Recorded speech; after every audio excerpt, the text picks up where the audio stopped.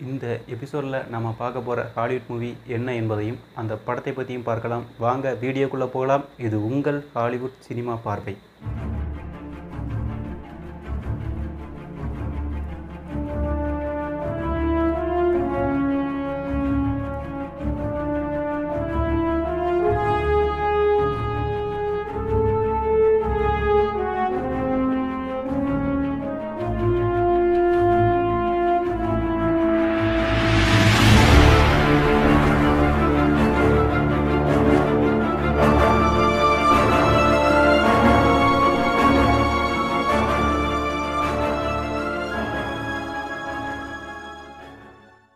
இந்த எபிசோடில் ரெண்டாயிரத்தி பதினஞ்சில் மிஸ்ட்ரி த்ரில்லர் அமெரிக்கன் மூவியாக வெளியான டார்க் பிளேசஸ் படத்தை பற்றி தான் பார்க்க போகிறோம் இந்த படத்தோட ஸ்டோரி லைனை பற்றி பார்த்தோம் அப்படின்னா படத்தோட ஆரம்ப காட்சியில் ஹீரோயின் சிறு வயதாக இருக்கும்போது அவங்க அம்மாவும் அவங்க சகோதரியும் அவங்க வீட்டில் மர்மமான முறையில் கொலை செய்யப்படுறாங்க.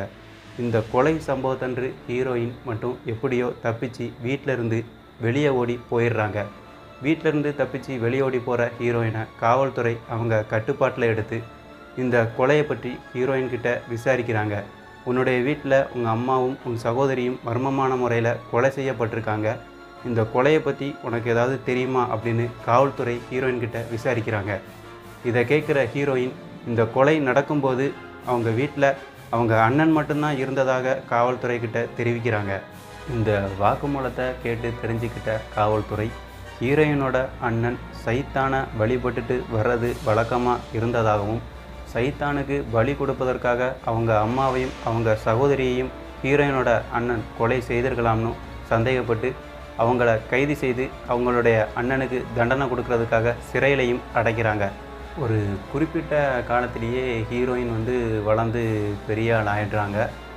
அவங்க வீட்டில் நடந்த அந்த மர்மமான கொலை அவங்க அம்மாவும் அவங்க சகோதரியும் கொலை செய்யப்பட்டதற்கான உண்மையான காரணம் என்ன அப்படின்னு தெரிவதற்குண்டான கட்டாயம் ஹீரோயினுக்கே வருது.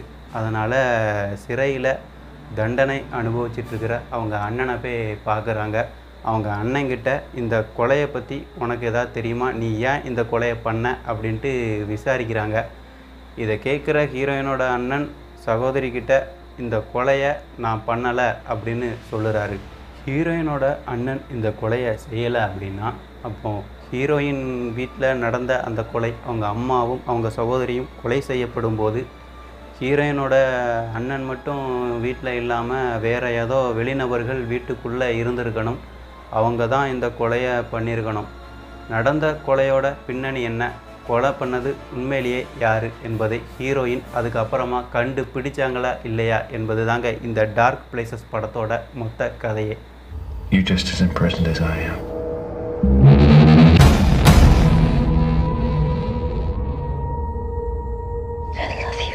இந்த படத்தோட காட்சி அமைப்புகளை பார்த்தீங்க அப்படின்னா படம் முழுக்க சஸ்பென்ஸு தான். படத்தில் ஆரம்பத்துல இருந்து முடிவு வரைக்கும் பார்த்து ஸ்டோரியை புரிஞ்சுக்கிறதுக்கே நமக்கு மூளைக்கு வேலை கொடுக்குற விதமாக தான் இந்த படத்தை கொடுத்துருக்காங்க.